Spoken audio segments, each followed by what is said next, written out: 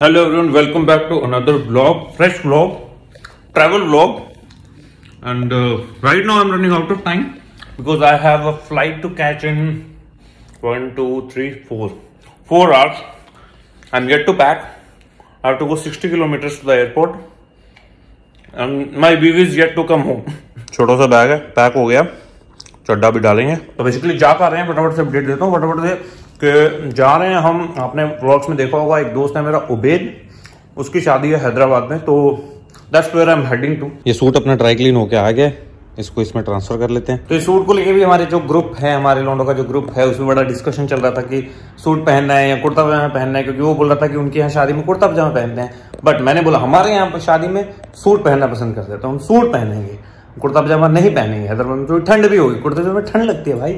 तो इसलिए मैं सूट ही लेके जा रहा हूँ। ऐसे मैं कुर्ता पजामा भी लेके जा रहा हूँ। इन केस बिल्कुल ही ओल्ड वन आउट हो गया तो बट मेजर चांस यही है कि मैं सूट ही पहनूँगा। I guess most of the packing is done T shirt हमने बदल दी है। जाने के लिए हम तैयार हैं। बस हम वेट कर रहे हैं मोटे का। टाइम हो गया सात बज के पंद्रह मिनट। हाँ जी तो अपने बस हो गए तैयार। कैब नीचे आ गई है। मोटा भी आ गया था। मोटा मेरे लिए चिप्स लेके आया ऑफ़िस से।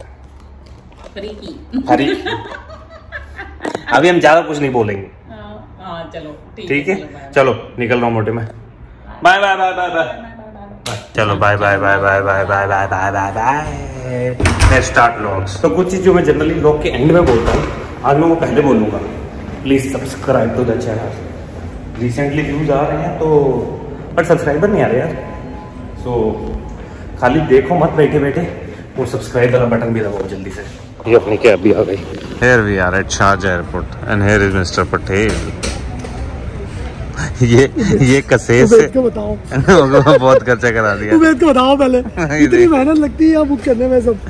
मीनवाइल ये कसेस से आया है जो कि यहाँ से हार्डली कितना किलोमीटर है?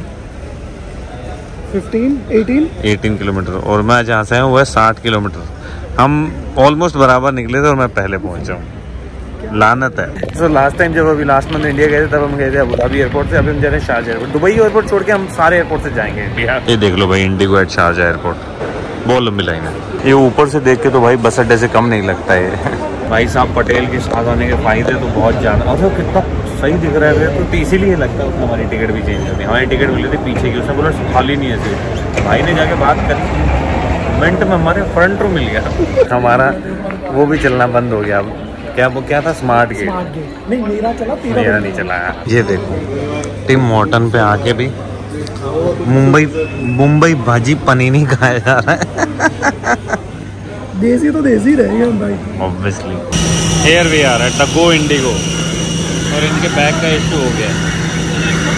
ये भाई ने सोचा था कि फ़्लाइट के अंदर ले जाएगा बट उन्होंने बोला नहीं चेकिंग में डाल दो। ऑलमोस्ट यहाँ पर आ आकर। ये जो इतना लेग रूम दिख रहा है ना थैंक यू पटेल चलो हमने बैठ गए हैं तो हमने सो ही जाना है वैसे एज यूजल वैसे तो हम किताब भी लेके आए हैं जो कि अभी तक पूरी नहीं हो पाई है बहुत टाइम से चल रही है। तो दैट्स इट हम मिलते हैं सीधा हैदराबाद। वेलकम टू हैदराबाद अरे व्यवस्था के नाम पर कुछ है ही नहीं भाई। अभी इमिग्रेशन में थोड़ी कम भीड़ है। कम से कम दो घंटे वेस्ट हो गए दो घंटे। भाई बहुत ही बुरा। एक्सपीरियंस अभी ये बाकी है सिक्योरिटी की line finally we have made it outside भाई साहब। बहुत समय लग गया बहुत टाइम वेस्ट हो गया। बहुत अंदर लड़ाइयाँ लुड़ियाँ भी देख ली हमने एक दो। एनीवे बहुत जानी पहचानी सी जगह लग रही है। बहुत बार आया हूँ भाई मैं तो इस एयरपोर्ट पे। अभी हमने अभी के लिए तो कर लिया ओला टैक्सी बुक अभी यहाँ से जाएँगे सीधा टैक्सी करके घर पर। फिर इसको कुछ खिलाएँगे इसको भूख लग रही है बहुत ज़्यादा। सुबह पाँच बजे नाश्ता करना है इसको। हाँ जी पहुँच गए फाइनली होटल के बाहर। अरे बाहर से कितना सही लग रहा है। उससे बढ़िया चीज़ दिखाता रेनबो रेनबो भाई बहुत सालों बाद देखने को मिला है। आखिरी बार कब देखा था रेनबो? भाई बहुत टाइम हो गया पता भी नहीं याद भी नहीं है कब देखा था। अरे देखो होटल बुक कराया है इसने। ढूंढना पड़ेगा होटल कहाँ है इसमें। तो thanks to this guy now we don't have a room to stay अभी बस भाई सोरिया बोल रहा है फ़ोन में होटल वालों को। होटल पसंद नहीं आया इसको। ये नवाब ये नवाब आ गए हैं नवाब। इनकी शादी हो मतलब रही है। शर्म भी आती ना एक रुपए की शर्म नहीं है साथ में। एक रुपए की शर्म।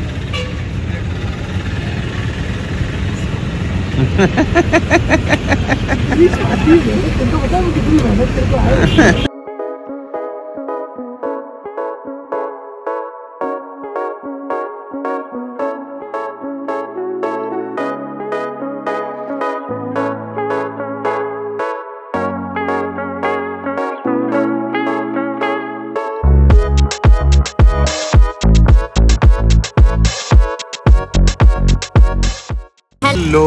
फाइनली दोबारा से we are back in the middle of Hyderabad ये गाड़ी हमने जूम कार से ले ली है थोड़े टाइम के लिए और अभी हम जा रहे हैं। मेरी मेमोरीज ताज़ा करने में।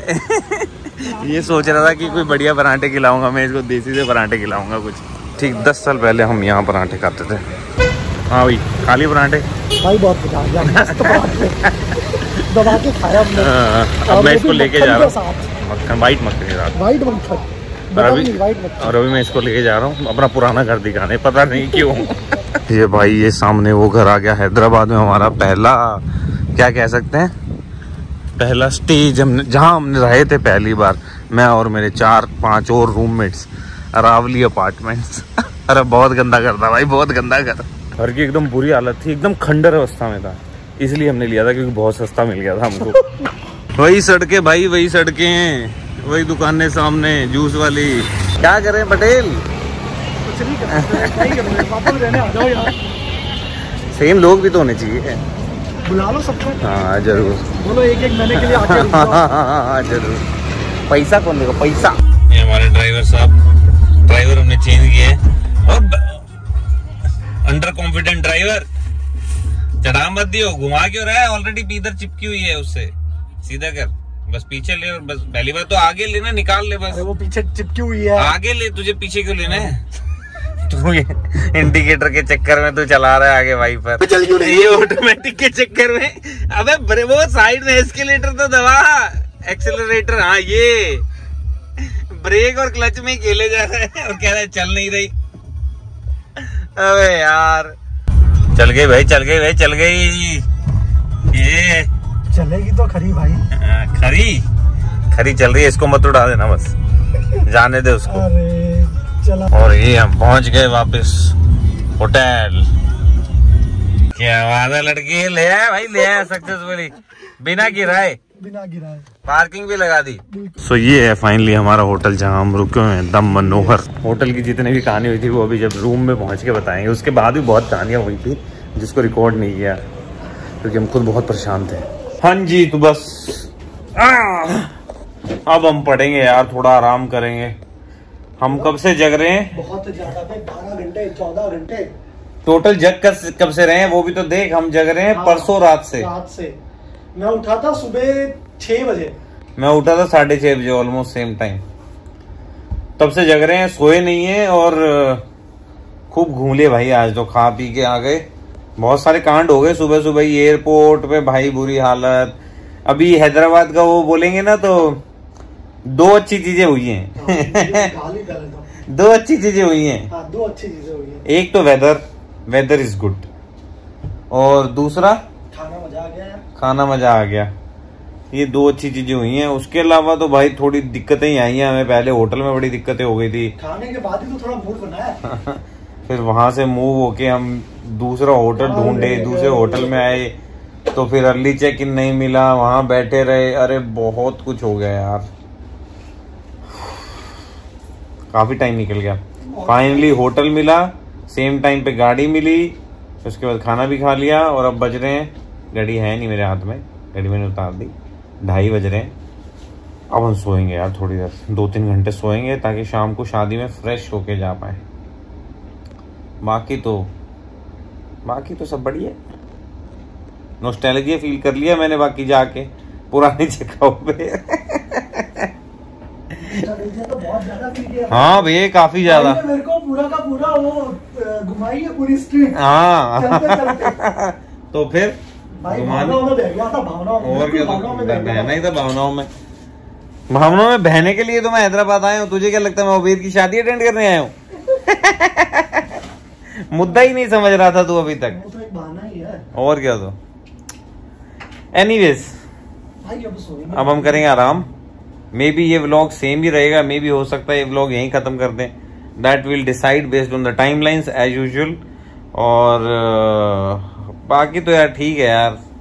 अभी let's see how it goes आज का दिन तो शादी में निकल जाएगा। कल hopefully will catch up with few people and that's it कल रात को फिर निकल रही है। चलो अभी के लिए तो बाय